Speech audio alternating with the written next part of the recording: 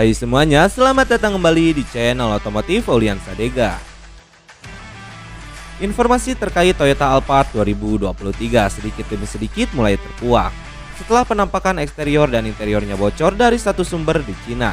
Kali ini mengenai jenis mesin yang akan digunakan serta nasib kelanjutan kembarannya yaitu Toyota Velfire. Baik Alphard dan Velfire akan mendapatkan mesin terbaru, bahkan di antaranya ada mesin berimbuhan turbo. Ini sekaligus menegaskan bahwa Velfire masih akan dilanjutkan dalam wujud generasi terbaru. Penasaran? Simak video ini sampai akhir dan seperti biasa jika kalian suka dengan channel ini silahkan subrek aja agar kalian gak ketinggalan video menarik lainnya dari channel Aulian Sadega. Hatur nuhun. Mau jual mobil atau beli mobil bekas berkualitas? Yaps, di Karsom aja. Karsom itu apa bang? Nah, Karsom adalah platform jual beli mobil bekas online terbesar di Asia Tenggara yang saat ini hadir di Malaysia, Indonesia, Thailand, dan Singapura. Perusahaan ini memiliki misi untuk membawa industri mobil bekas ke era digital dengan membangun dan mengangkat pengalaman dalam menjual dan membeli mobil guys. Tenang, di Karsom semua mobil sudah diproses inspeksi sebanyak 175 titik guys. Lalu gimana caranya bang? Mudah, masuk www.karsom.id, klik tab beli mobil, dan kalian dapat mencari mobil impian kalian yang sesuai dengan gaya hidup kalian. Semua mobil yang terdaftar memiliki tampilan 360 derajat dari interior dan eksterior mobilnya. Daftar kondisi unit mobil saat ini, laporan kondisi profesional, serta harga yang mencakup semua. Membuat janji test drive dapat dilakukan dengan mudah, kapan pun dan di mana pun melalui website.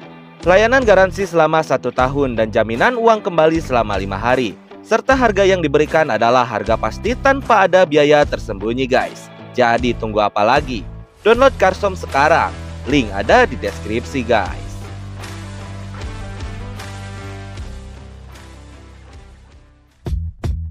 Masih dari sumber yang sama, Alphard terbaru akan hadir dalam dua opsi mesin. Pertama, mesin 2500cc berkode A25AFKS serta satu lagi mesin 2500cc hybrid berkode A25AFXS. Toyota Velfire 2023 juga akan mendapatkan dua pilihan mesin, tapi keduanya non-hybrid, yaitu mesin 2400cc turbo berkode T24AFTS serta mesin 2500cc naturally aspirated berkode A25AFXS.